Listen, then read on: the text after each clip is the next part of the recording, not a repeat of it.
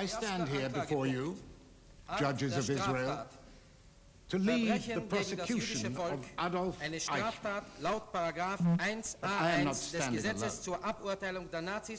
With me are six million accusers. They cannot rise to their feet and point toward him who sits in the dock and cry out, J'accuse von 1939 bis For their 1945 ashes die Tötung von Millionen von Juden in seiner damaligen Eigenschaft als Beauftragter für die Ausführung des Naziplans zur physischen Vernichtung der Juden, der als sogenannte. Endlösung der Judenfrage bekannt ist. B.